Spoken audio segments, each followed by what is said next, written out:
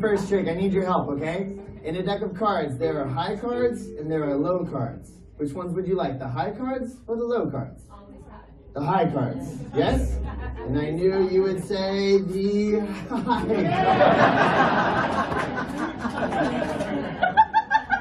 cards. so close. All right, uh, you, sir. Next question is for you. Out of the high cards, let's say uh, 10, Jack, Queen, or King. Up to you. Which one do you want, sir? King, yes?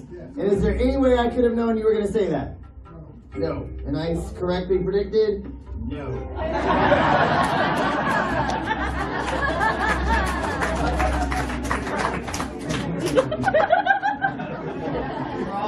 Hey, hang in there. King, King, let's say, uh, for you, sir, last question. King of clubs, hearts, spades, or diamonds? Up to you. Which one? Hearts. Hearts. Are you sure? Yes. Okay, no more dumb jokes. No more dumb jokes. There is one card and one card only in there. and you wanted the King of Hearts?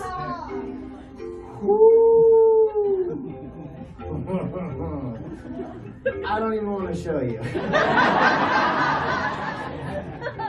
I'm just going to show you, sir. Okay, lean forward, lean forward, lean forward. What do you think? What do you think? Wow.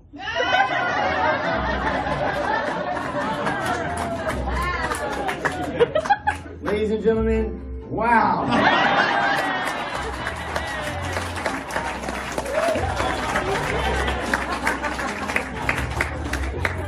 you nailed it. The brunch show, this kid was like, Mom? no, no, this is not the dumb joke castle, okay? You said high, you said king, you said hearts. Ladies and gentlemen, I have one card here, and one card only, the very own King of That